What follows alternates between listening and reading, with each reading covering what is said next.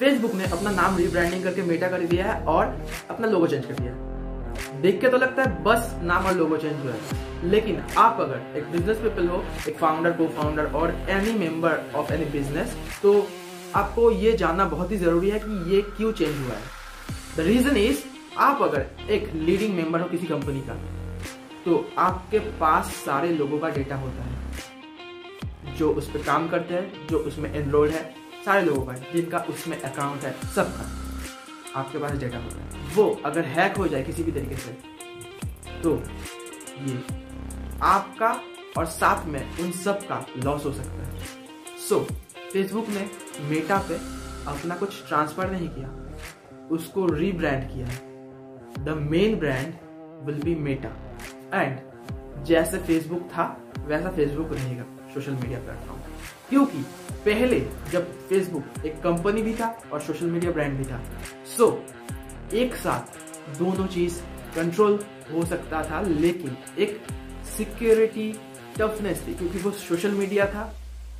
Hack करने का a little bit different ways रहता था कि हैक हो सकता था। लेकिन अब आपका सिक्योरिटी अगर सही रहे इसीलिए उन्होंने अपना सारा डेटा मेटा पे रखेंगे।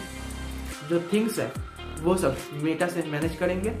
एंड ये सिर्फ़ एक सोशल मीडिया साइट रहेगा। जैसा इंस्टाग्राम है, उनका ही व्हाट्सएप है, उनका ही सिमिलरली ताकि आपका डेटा सेफ़ रहे। जैसा उनका न्यू आया है वर्चुअल रियलिटी तो ये भी बहुत लोगों का बहुत पर्सनल डेटा रहेगा।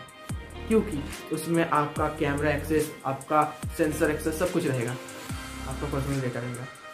वो अगर चोरी हो जाए, क्या क्या हो सकता है? आप सोच सकते आपका सारे पर्सनल इंफॉर्मेशन अगर चोरी हो जाए, कितना गलत हो सकता है आपके साथ। दिस इज़ द थिंग वो इसको रीब्रांड वो जस्ट कोई चुल मचा था, नाम चेंज कर दिया, ऐसा कुछ नहीं बहुत ही बड़ा रीजन है। वो एक अलग टोटल सर्वर है, जिसमें वो सब रखा गया है।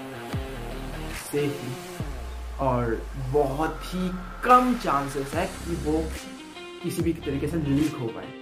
हो सकता है, गलती हो जाती है बग्स रह जाती है, लेकिन उसका लेवल जितना कम कर सके, वही इंपॉर्टेंट है ना। And this is the thing जो उन्होंने किया है। एज अ फाउंडर वो उनका रिस्पॉन्सिबिलिटी बनता है कि आपका डेटा वो सेफ़ रहे। वो एक फेसबुक अकाउंट का हो, या बैंक अकाउंट का हो, या किसी भी आपको क्या लगता है? वो सिर्फ़ फेसबुक अकाउंट है तो आपका फ़ोन का और किसी चीज़ का उनको एक्सेस नहीं है? आपका कॉन्टैक्ट एक्सेस आप क्या क्या करते हो, सब कुछ का एक्सेस है उनके पास।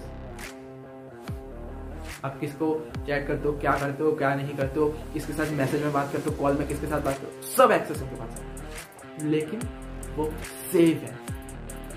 वही चीज़ सेफ़ रहने के लिए वो रिब्रांडिंग किया गया दिस इज़ द थिंग आपको समझना पड़ेगा। अगर आप एक लीडिंग मेंबर हो किसी कंपनी का।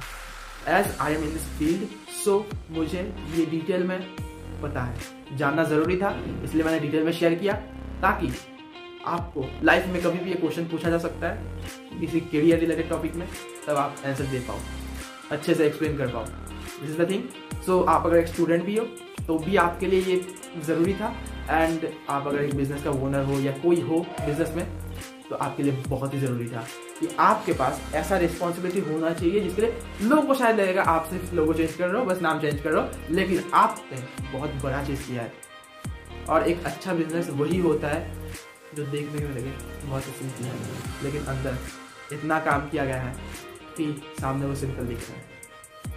आप कोई भी स्किल्स प्रैक्टिस करते हो प्रैक्टिस करते हो, तभी आपको वो सिंपली लगता है। लोग को लगता है गॉड गिफ्टेड टैलेंट है, लेकिन वो गॉड गिफ्टेड टैलेंट नहीं होता। मेरे को बिज़नेस बनाना आता है। ये सारी चीज़ इजीली नहीं आया। मैंने भी बहुत प्रैक्टिस किया, बहुत बहुत टाइम लगाया। लेकिन बहुत लोगों को लगता है, इसको तो शायद आता होगा। आप भी सीख सकते हो। सब कुछ सब कोई सीख सकते हैं। जिसने जिस फ़ील्ड में टाइम लगाया है, वो एक्सपर्ट बन जाते हैं। So put your time and learn this small small things अगर ऐसे ही थिंग्स सीखना है तो सब्सक्राइब करो और लोगों के साथ शेयर करो एंड मिलता है अगले किसी नए वीडियो में।